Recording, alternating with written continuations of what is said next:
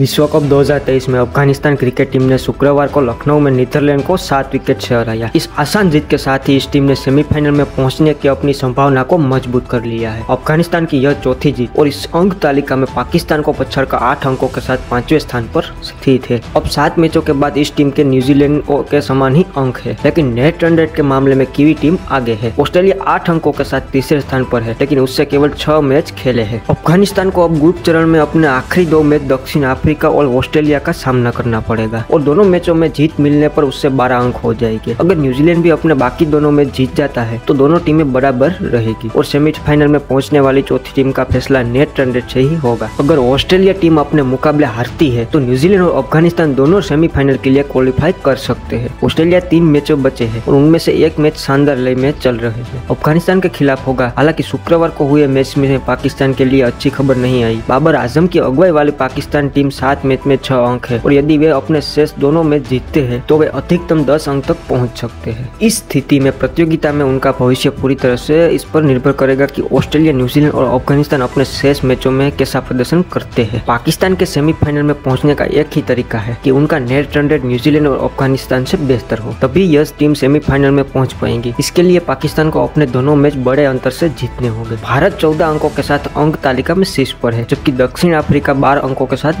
दूसरे स्थान पर है।